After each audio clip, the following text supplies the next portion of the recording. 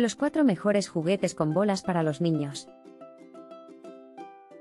He comprado los BTAces bolas voladoras para mi hijo de 8 años como regalo de cumpleaños. El producto es un mini dron teledirigido con luces LED brillantes. Estoy muy contento con la calidad y la facilidad de uso. El dron es muy fácil de controlar y es muy divertido volarlo.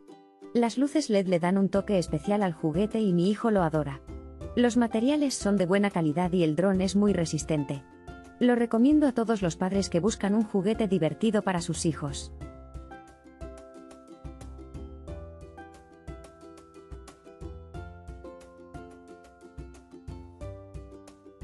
He comprado el producto Bestway 50 y 2027 para mi hijo y estamos muy contentos con él. Es una bolsa de 100 bolas de colores con un diámetro de 6,4 centímetros, hechas de PVC.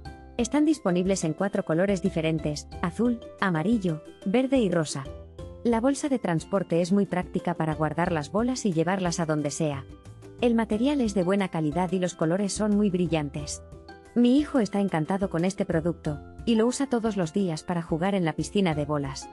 Lo recomiendo a todos los padres que busquen un juguete divertido para sus hijos.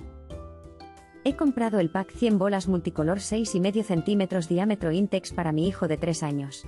Estas bolas son perfectas para jugar en el jardín, en la piscina o en el parque. Son de buena calidad, resistentes y seguras para los niños. Además, el colorido y el tamaño son ideales para los niños pequeños. Estoy muy contento con la compra, mi hijo está encantado con las bolas y se divierte mucho con ellas. Las recomiendo sin duda.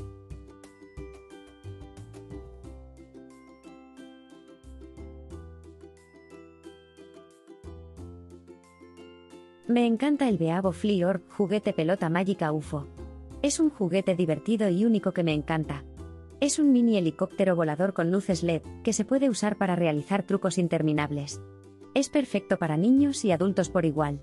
La pelota es muy fácil de usar, y se puede volar en interiores y exteriores. Estoy muy contento con mi compra y recomiendo este juguete a todos.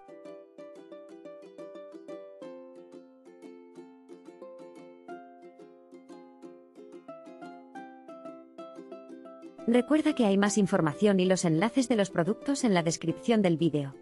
Nos vemos en el próximo vídeo.